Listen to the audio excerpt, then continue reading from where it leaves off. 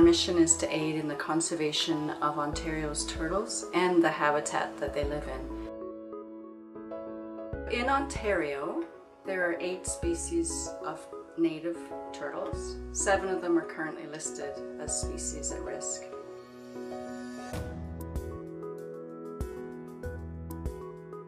We admit and treat, rehabilitate and release turtles from all over Ontario.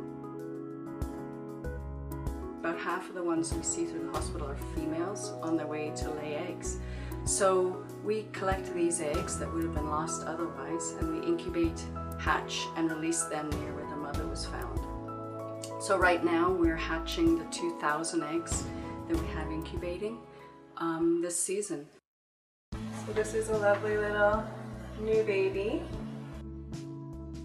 So he's still quite new, but definitely ready to be in the water. So what we're gonna do is just get a weight on him. Five grams. And I'm just gonna set him on the edge of the water and let him just get used to his new surroundings.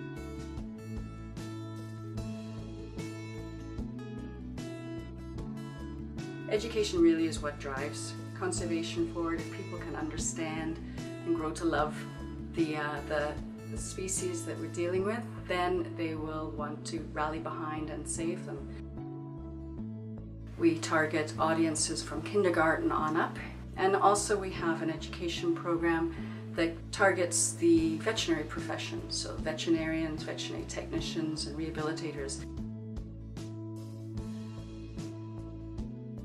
Um, my is Wendy Fusil, and I've been a volunteer here for about two years now.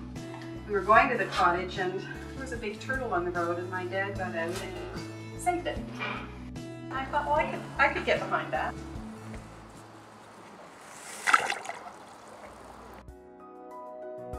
We are doing field studies, and these field studies are to help ensure that these head starting programs are as successful as they possibly can be. So we're adding to the knowledge of best practices to ensure this. And so our field work is following a group of Blandings turtles that we've head started alongside a group of wild blandings of similar size and we're comparing the behavior and survival of these just to again to ensure that this is a viable conservation strategy. We're doing population surveys in a previously unsurveyed area.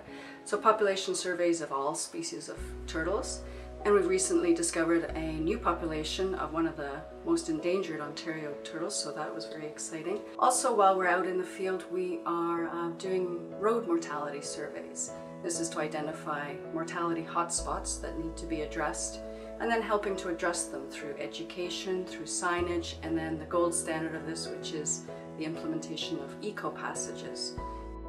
So this exclusion fencing is for benefit of turtle. June comes nesting season. The adult females are trying to lay their eggs and often they're crossing the road and they get killed.